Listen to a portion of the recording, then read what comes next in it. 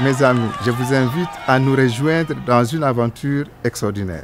Nous sommes une équipe d'ingénieurs congolais qui avons ce projet fou, monter un programme spatial ici, en République démocratique du Congo. De nombreuses personnalités ont fait le déplacement à Menkao, à 150 km de Kinshasa, pour assister à l'événement. Vous avez déjà sûrement vu ces images. Notre fusée Troposphère 5 décoller avant d'aller à l'horizontale et s'écraser dans un déluge de feu. L'histoire de la conquête spatiale est pleine d'échecs. Beaucoup de gens ne voient que ce qui ne marche pas. Mais nous avons appris beaucoup de choses de cette expérience.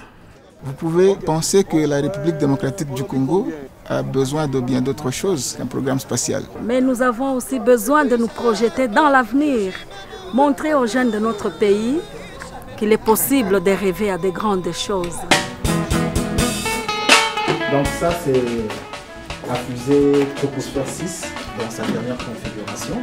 Aujourd'hui, nous vous annonçons une grande nouvelle. Nous sommes sur le point de construire une nouvelle fusée Troposphère 6. Ce sera une fusée de trois étages qui fait 15 mètres de haut. Le troisième étage de la fusée Troposphère 6 embarquera le satellite JIWA qui prendra des images et des photos de la Terre à 200 km d'altitude et nous allons les recevoir dans notre centre de contrôle.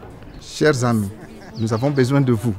Nous n'avons que très peu de moyens et si nous avons réussi à fabriquer et tester différents éléments de notre fusée et de ses expériences, la construction de la fusée demande des matériaux chers et d'utiliser des machines de précision que nous devons louer dans des ateliers. C'est pourquoi nous vous proposons de nous rejoindre afin de nous aider à réaliser notre projet.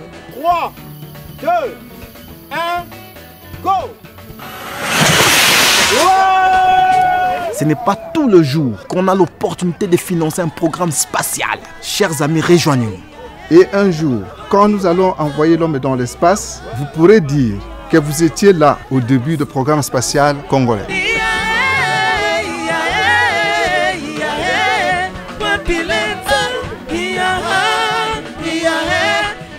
kosunga mwasi na pasi oyo